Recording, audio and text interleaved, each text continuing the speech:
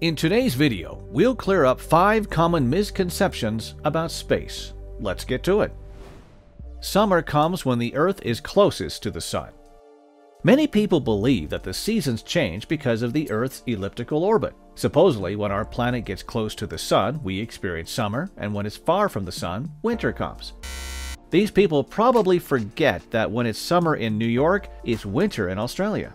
The real reason behind the changing of the seasons is the Earth's axial tilt. When any of the two hemispheres is angled toward the Sun, it receives more direct sunlight and experiences summer, and vice versa. When one of the hemispheres is angled away from the Sun, it receives more indirect sunlight and experiences winter. The Moon's phases are caused by the Earth's shadow. In reality, the Earth's shadow doesn't have anything to do with lunar phases. The thing is, at any point in the Moon's orbit around the Earth, one half of the Moon is always illuminated by the Sun, while another half is dark. Here on the Earth, our view of the illuminated part of the Moon changes each night, depending on where the Moon is in its orbit. Sometimes we see the fully illuminated side of the Moon, and sometimes only its part, or don't see it at all. So the dark portion of the moon is not the Earth's shadow, it is simply the area not lit by the sun. As for the Earth's shadow, occasionally it does fall on the moon. This event is called a lunar eclipse. It occurs when our planet comes between the sun and the moon and blocks the sunlight from reaching the moon. The moon has a dark side.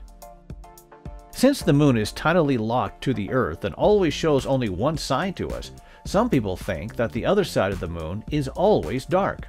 However, the far side of the moon is no more and no less dark than the side we see. As we've already explained, at any given time, half of the moon is illuminated by the sun, while another half is in darkness. As the moon is always in motion, it has no permanently dark side. It is always cold in space. Contrary to popular opinion, space is not always cold. It depends on whether you are in the sun or in the shade. For example, the ISS astronauts going on a spacewalk experience extreme temperature variations.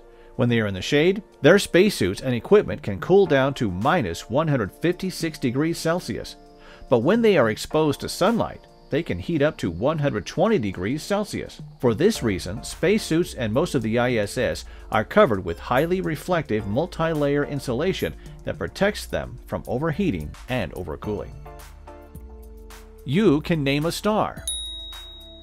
Some companies can sell you an opportunity to name a star after yourself, your friend, or your loved one.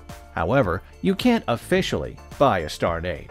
The only organization that officially names astronomical objects is the International Astronomical Union, and it doesn't sell star names. If you badly want to have an astronomical object named after you, discover a comet. Such a comet will forever carry your name, like the interstellar comet Borisov, discovered by the amateur astronomer Gennady Borisov. Thanks for watching. If you liked this video, give it a thumbs up and subscribe to our channel. Also, please tell us in the comments what other space-related topics would you like us to cover. See you next time.